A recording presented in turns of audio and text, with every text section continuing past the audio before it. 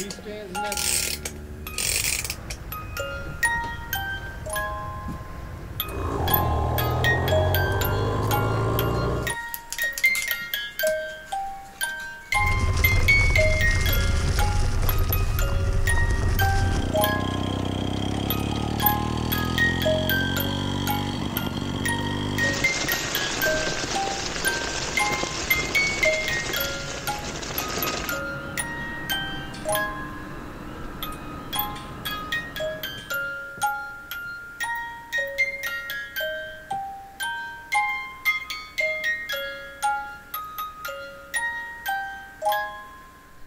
It's that time of year.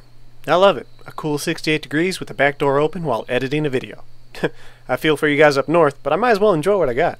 With our temperatures here being what they are, I'm not the best channel to test out winter riding gear, but we do get the mid 30s when I come home early in the morning after a shift, and I have been testing out some gloves and a helmet liner that some of you might find useful if you're not in absolute frigid temperatures. I got some updates on the bikes, some future projects, which I think a lot of you guys are going to enjoy. And as promised, we're going to take this Eagle 1 on a real world range test to find out if it's practical. Oh. Whoa. I'm sorry. I didn't mean to spook him. What I want to know is can you use it to get to where you want to go, enjoy it for a little bit, and then still get home without having anxiety about running out of battery? Being that time of year, most of you know if you're searching for motorcycle gloves or mountain biking gloves, there's about a thousand different options from a hundred different websites. And depending on how enthusiastic you want to get with your riding, that might dictate what style of gloves you decide to wear. Ever since I had that accident with the Phantom 85 and I tweaked my wrist, I've enjoyed wearing wrist protectors. And these don't really cope well with most riding gloves. This particular pair is pretty thin, but it's fleeced line. I found that at about 25 miles an hour and 32 degrees, it's good enough to get the job done for about 30 minutes of riding. Faster than that, or colder than that, you might want to look somewhere else. But these being so thin, they can fit inside other gloves, and they can fit inside my wrist protectors. Now you can actually find gloves with built-in wrist guards, however they're kind of cumbersome and you might not always want to wear them. For instance, when I'm going on sketchy terrain, I would want to wear my wrist guards. But when I'm on longer trips where I know I'm just going to be cruising and not doing anything enthusiastic, I won't really want my wrist guards just for the added comfort. And that's where these really shine. I can use them with or without the wrist guards. And they keep my hands warm in my environment. And just like most modern gloves, they're touch sensitive, so I had no problems navigating the menu on my phone. There's a number of reasons why I don't care much for wearing the full face helmet on motorized bikes, although I sometimes do, but one of those reasons is that in cold mornings my glasses tend to fog up as soon as I put the helmet on. Yes, there's anti-fog you can get, but I either forget it or I run out, and it's just one extra step that I don't care to deal with when I only have a 5 minute ride to get to the house. So for this reason, among others, I enjoy wearing my half helmet most of the time. And this underliner cap is really nice because it fully covers your ears, which are usually the most exposed part that gets cold on your face.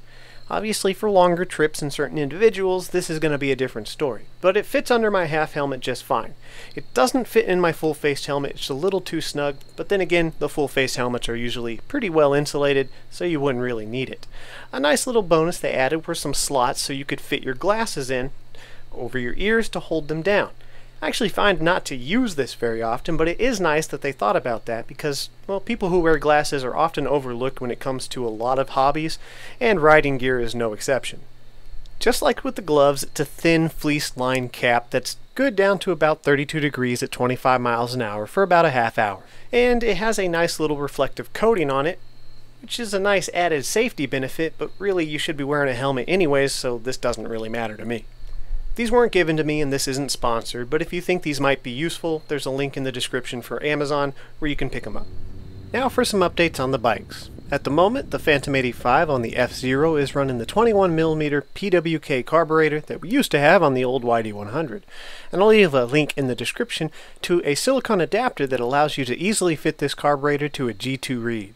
I was finally able to fix the chain rubbing on the tire issue with the F-Zero by simply flipping the rear sprocket over, I didn't do this previously when I was running the 41 roller chain because the clearance was so tight between the caliper, rotor, and chain, I didn't think it was a wise idea.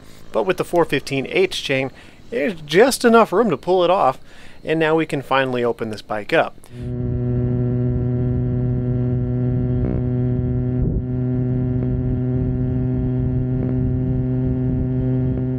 I've reached a top speed of 40 miles an hour with the Phantom 85, and it still had a lot left to give so we'll try, but this thing makes me nervous.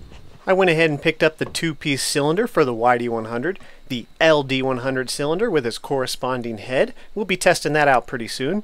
Before we do, I have an interesting idea with this heat sink that I had talked about doing a long time ago and a viewer recently reminded me about. If it works out, you'll see a video on it. If not, I'm sure I can find a use for this somewhere. And last but certainly not least, some parts from DLH Performance. We have the SAF Super Clutch for a future Minarelli build.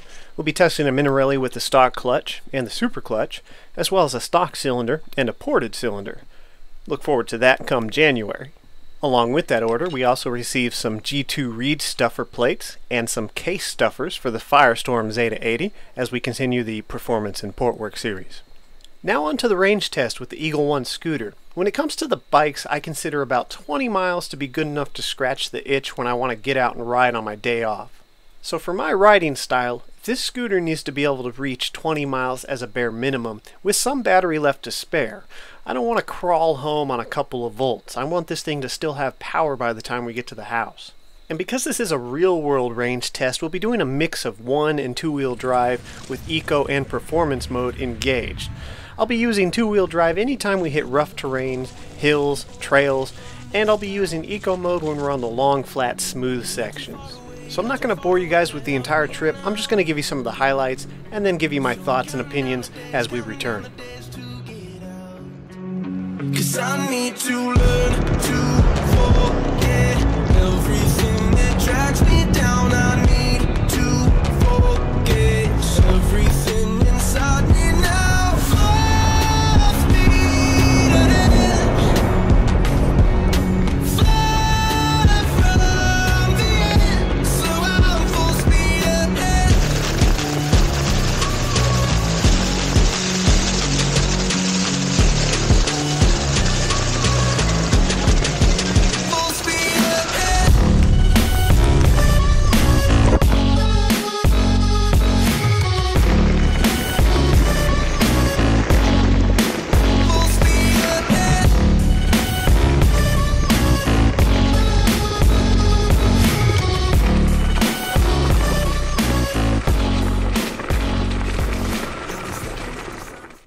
Bike guys are into bikes, scooter guys are into scooters. I'm not trying to convince anyone what to ride, but some of you might be interested in both, so here's my thoughts and opinions of the Varla Eagle 1 after doing 28 real world miles. Full transparency, you'll notice I didn't have a backpack.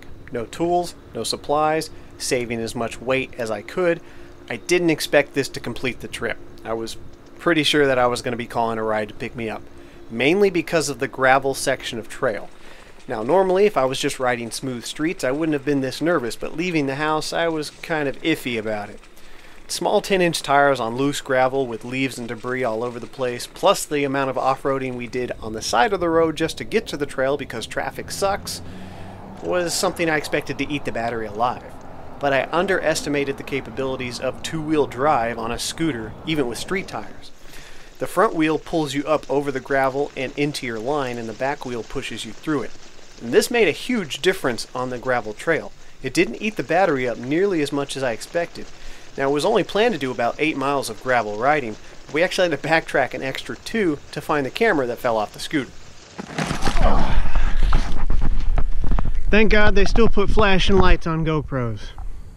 By the time I got back to town, I had so much battery left that anytime I pulled the throttle in two-wheel drive, it felt like it was almost at full charge, and it would still pull me up over any obstacle. Well, let's see how she does.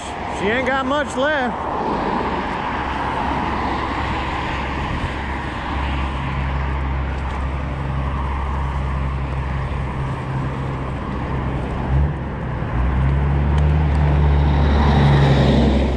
So I ended up circling the block a bunch of times looking at Christmas lights until my feet were just too tired and it was too dark to get any usable footage.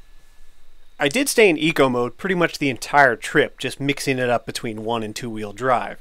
And this wasn't really helping us save battery on the trail because full power is always available to the motors to make sure it can pull you through rough situations. So it was trying pretty hard to make sure it kept us at that 15 miles an hour.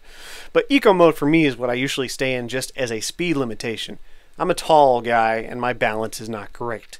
Going 15 miles an hour on a scooter is fine with me, and I'll top out at 20 sometimes when I'm feeling brisk.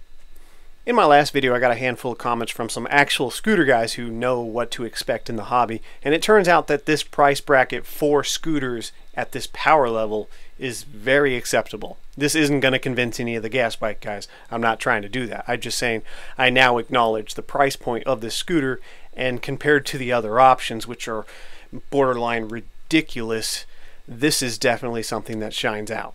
In my opinion, these companies are stuck in a numbers game where everybody has to advertise a high top speed to catch your attention. And these speeds are just not something that I find realistic to do on scooters. However, these high top speeds mean that these scooters have lots of power, and that power is what I'm interested in low speed power.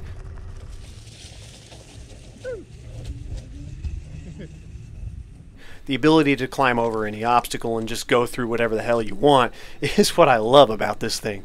And don't get me wrong, I absolutely love the sound of a good two stroke in the morning, but it is nice to get on this thing and cruise through neighborhoods where you don't normally go because you're pretty much invisible to your surroundings, just nobody hears you, and you can stick around longer and explore.